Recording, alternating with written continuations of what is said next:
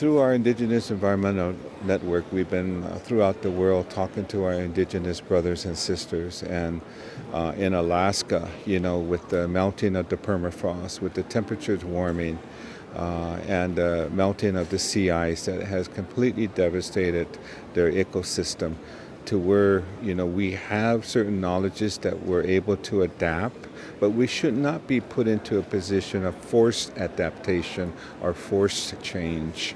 And uh, you know I see firsthand the effects of uh, the environment uh, when land territories are being eroded away from the melting sea ice and the oceans coming in uh, to where you have to relocate your whole village and it's not as easy as it was like 100 years ago or 200, 300 years ago because there has been the settlement of immigrants who have come in from Europe, for an example, to my territories, and they have other land where they're living. So an indigenous village just can't lift up and move to another location. There are other populations living there now.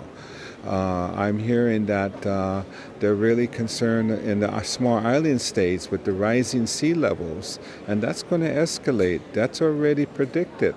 You know, where did these large populations of indigenous peoples from the Pacific, where did they move to? That's a very uh, uh big issue that involves uh, a political decision.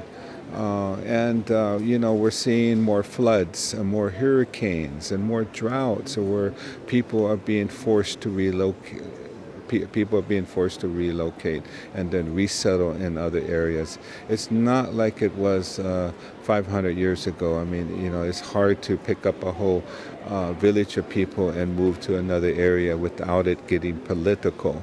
So these are issues that we're very concerned about, and the right to practice our culture. Where I come from, you know, we have certain plants and certain uh, uh, natural materials that are no longer available. We have to go, you know, two days travel or even one day travel to go get these materials. Uh, the moose uh, population, which is one of our animals that uh, sustains our people, uh, are moving north because of the temperature warming. So uh, a lot of the uh, habitat that we depend on for subsistence isn't there anymore.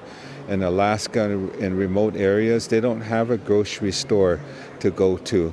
Uh, they depend on the environment. So when the environment and the ecosystem and, and the habitat is being affected by climate change to where they may perish, that affects our indigenous people and becomes a food sovereignty issue, a food security issue. In Africa, I was really alarmed at the, at the concerns with water and water rights and the uh, possible uh, uh, war around water.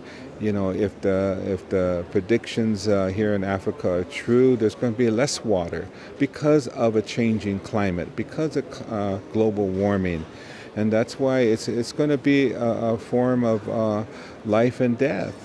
And we're telling the world leaders now that if they don't take action, that there will be you know, there will be deaths of indigenous peoples. And we're even seeing that affecting non-indigenous peoples in Europe, where there are warming events who have, which has devastated uh, whole populations of people, especially our elders in these heat islands and in the cities.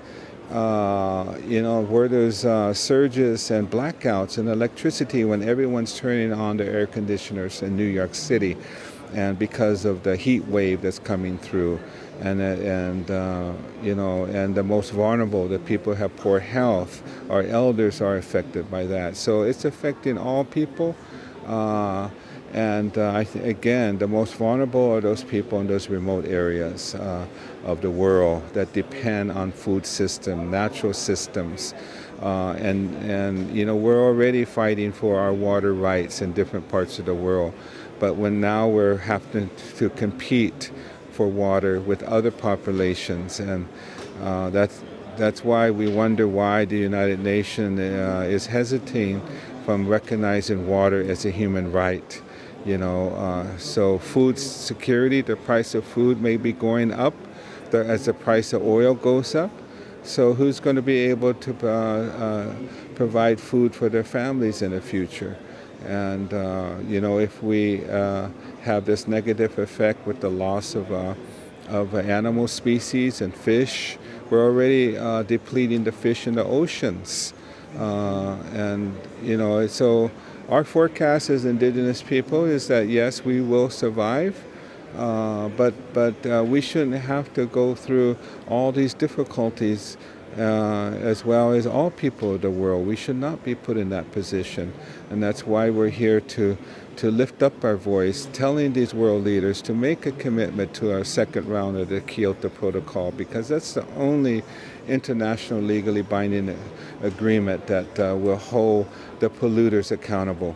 And let's wait till another day then for the economies in transition to make a commitment. You know, they need funding to, uh, to help them to make that transition a lot of the industrialized countries are in a better position.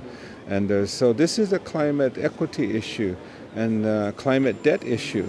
You know, so there's layers of these issues that we, we need to, to, to, to uh, be tuned into. Um, and we'll do everything we can here to make this uh, a strong uh, COP17. Uh, but uh, one of the negotiators this morning that met with our indigenous peoples in our caucus said this is uh, going to be a lifetime venture. You know, the commitments to mitigate climate change and to adapt uh, is going to be a lifetime uh, commitment, and that we should start training our, our, our, youth, our children, because they're going to have to pick up the responsibilities. in 2050, when that uh, review of whether or not we have achieved uh, 40%, 50%, 100% reduction uh, uh, uh, in, in, in, emissions targets. it's the youth who are here now that will be elders. They're going to be in their 60s and they're going to say whether or not the results of these, these COP decisions were successful or not. I hope it is.